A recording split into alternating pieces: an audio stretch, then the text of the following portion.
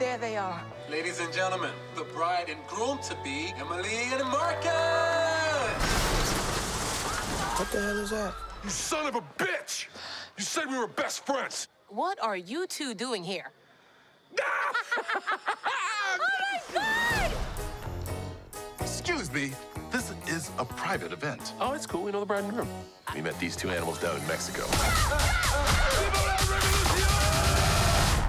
Why does the salt not taste salty? Oh, because it's cocaine. What? I don't do drugs.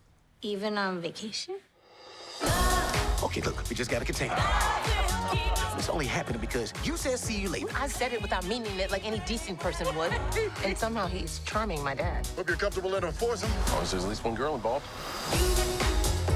Everywhere they go, chaos happens. This weekend is all about you. Well, I like the sound of that. We do too. Jesus.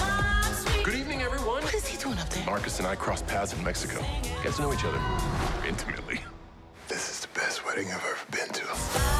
Put that bottle on your head. Babe, he's not serious. We've been drinking. And...